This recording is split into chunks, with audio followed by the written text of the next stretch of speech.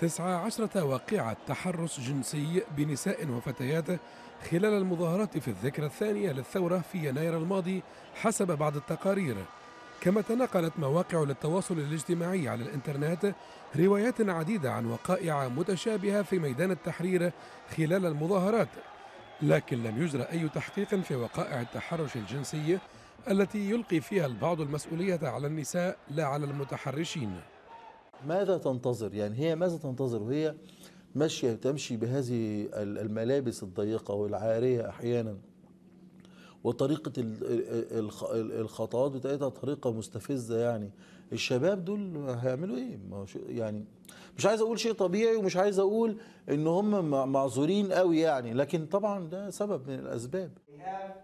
وأمام الشعور العام في مصر بخطورة التحرش الجنسي وأهمية التصدي له وبعد تزايد وقائع التحرش يلتحق عدد من الفتيات بدورات للتدريب على الدفاع عن النفس.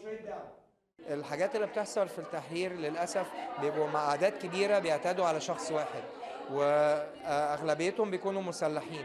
فدي مش حاجة سهلة إن حد يتعلمها من كورس واحد أو من من ساعتين أو أربع ساعات أو عشر ساعات.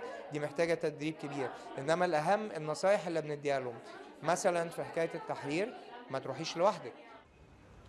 وأمام هذه الظاهرة تقول عدد من الجمعيات والمنظمات النسائية إنها مصممة على فضح هذه الممارسات وإخضاع مرتكبيها للمساءلة فيما تبقى ظاهرة التحرش الجنسي في مصر مثيرة للجدل بين من يتهم المرأة المشاركة في الاحتجاجات بالتسبب في لفت الأنظار لها وبين من يدعو إلى ملاحقة المتحرشين ومعاقبتهم.